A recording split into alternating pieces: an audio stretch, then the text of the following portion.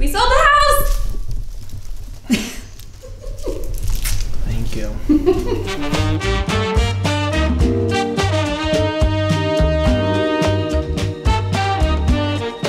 well, after a long week of moving out of our house for all the showings we had, we finally accepted an offer.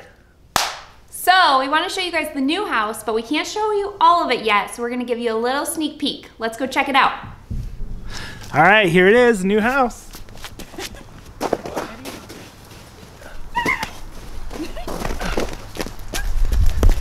That's all you get for now. So we're going to show you the rest of the house once we close on it. We're hoping in another month or so. Uh, but for now, that's all you get. Sorry. Today's video is a little bit different than our normal video on this channel, uh, but we really feel like it's the secret sauce to um, the different ways we've been successful in life, and we feel like um, creativity is just a really important skill to develop and grow. So I think a lot of people have careers that maybe aren't typically creative, so they think that they're not creative. But I think that you can for sure hack your brain and develop that skill. So Jamie's a great example that he went to college to be a high school science teacher, and he was for a while. Um, which would maybe be a typical career that you wouldn't consider creative. So in this video, we wanna share a few tips with you guys that if you feel like you're not creative, you can learn how. So first we just wanted to talk about the different ways that creativity has impacted our life and actually made us a lot of money. The first thing we want to talk about is actually our real estate investing and how that's been creative. We've actually made hundreds of thousands of dollars uh, by real estate investing creatively. So mm-hmm. um, this house is a great example. Um, when we bought it, we had the dream to open up all the walls. We didn't know if it was possible, but it was kind of just like a vision we had. Mm-hmm. Um, and then Sarah's design skills you know, made it all nice and decorated, cute. We just were able to really totally transform this place. So when we had all of our showings this week, we had several people tell us that this was their dream home. And our home is definitely very nice, it's beautiful. We put in some high-end finishes. We used our creativity to make it beautiful. But if you guys have ever seen our house before, it's definitely not that special technically. It's a ranch. Um, it's a pretty basic home, it's but like, it's like basically a white box that we Yeah. decorated cute. well, we put like high end finishes yeah. in and stuff. But Yeah. my point is, is like a lot of these people saying that they want this house as their dream home, they probably already live in a house that's very similar to this, but they just didn't have the creativity yet to like open it and like design it like we did. But I believe that they could.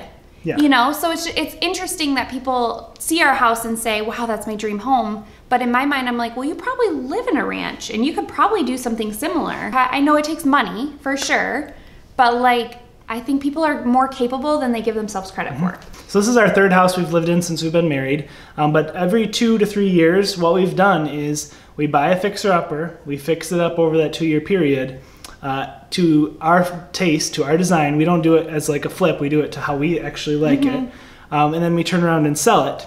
Um, and this is our third time doing it. I think we're up over you know three hundred thousand dollars we've made tax-free um, by doing this just um, in our spare time, and, and we we enjoy it. So Why is it tax free? Tell them.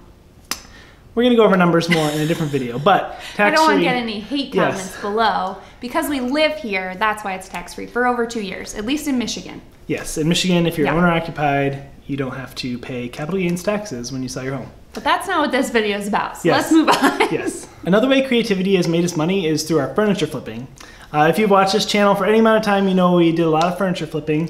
but furniture flipping is something where you need to kind of see the potential in a old raggedy piece of furniture before you buy it, and then you have to market it uh, and make it look its best. So sometimes that involved us uh, ripping skirts off chairs, or doing some cane or painting, stuff like that. For sure. Yeah, so it takes like a vision. Another way we have made a lot of money from creativity is through our wedding photography business. That is what Jamie and I did full time for nine years or so. And that obviously is a very creative field on its own, but we still had to like be extra creative to like stand out among the crowd because there's a million other photographers out there. Um, and so we tried to do unique stuff with not only with our actual like taking of the photos, like our actual photography, we tried to be unique, but even just with our business model and how we were reaching people and what we were showing them. I think there was a lot of creativity in the behind the scenes business side of our weddings that people maybe don't realize um, that helped us be really successful. Yeah, absolutely. Starting a successful business does take a lot of creativity. Totally.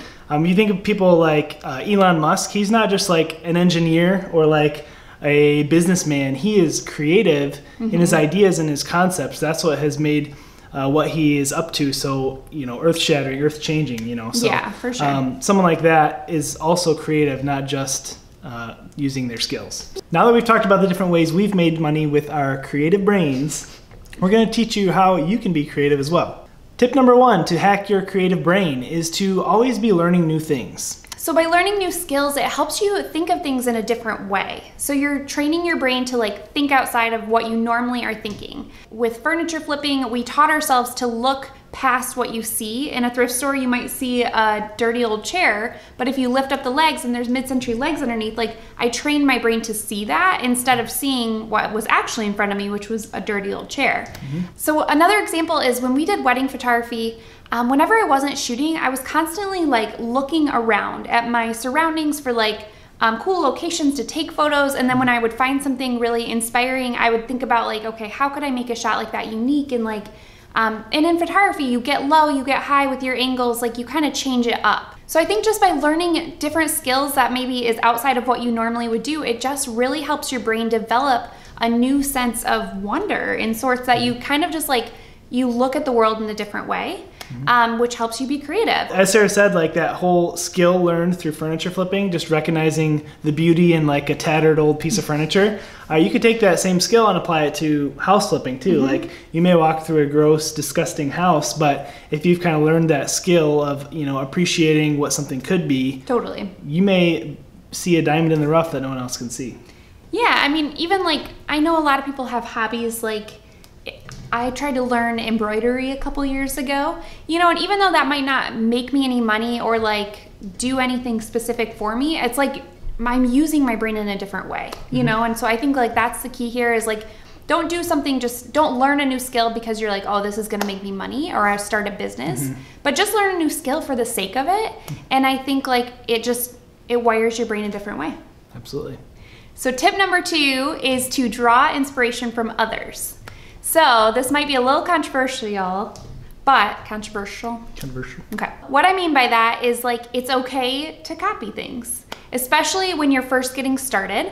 There's really not much out there that is completely a brand new idea. For instance, when we made our mural wall for our um, furniture flipping, we did like this like art deco rainbow colorful thing. And we've seen so many people copy it on TikTok, and like that's okay. Like um if that helps them get started and then maybe they're going to start seeing art in a different way or maybe their brain is going to start working in a different way that the mm-hmm. next time they create something it's going to be more their own idea Yeah. you know so i think it's okay to like draw inspiration from others or even just to copy if you really feel like you're not mm-hmm. creative and you need to do something mm-hmm. um, like that It's, it's a way to develop that skill. Yeah. Like from number one, you're developing a new skill by copying someone else. So totally Um, like we, the, with the caning of the furniture, we got that from someone uh, named Angela Rose. Yeah. Um, so we saw it online. Um, Lone Fox did like the, the furniture painting first. So like those were just Yeah. ideas we got from other people. yeah and we can kind of make them our own for sure and you should do the same but like it's okay to copy especially if you're trying to learn how to be creative Tip number three is to eliminate distraction. It's really hard for you to think up new ideas and think in a different way if you have your phone out in front of you. Um, yes, you can draw inspiration from other people's pictures and stuff, but you you're not going to really ever come up with your own ideas or think creatively by looking at your phone. So uh, that is. I say phone a lot because that's my biggest distraction. So what I found is one of the biggest things that's helpful for me is to actually get out in nature. Um, so kind of like Sarah said when we were in doing our photography business, when we get out in nature, we would get inspired and we'd be looking for different photo spots and stuff like that. So Yeah. just being away from all that distraction, you know, the stuff in your house, um, it really can start to have you think new thoughts and different thoughts that you maybe haven't thought before. new thoughts that you haven't thought before Yes. i love it we got one bonus tip for you. Sarah is very passionate about this, so I'm gonna let her share. what Yeah. what are you talking oh Sarah always talks about it. how people are too scared to try stuff. It's true. So don't be afraid to fail. I think that people don't like taking risks, and it frustrates me because risks just pay off so big. I'm not gonna I'm not gonna yell at you guys, but like just don't be afraid to fail. Just try something, even just starting small, you know, and just don't be afraid to fail. Because worst worst case you fail, and who cares? You start over. You do something else. You learn through failure. True. Someone once said that. Thomas Edison, maybe.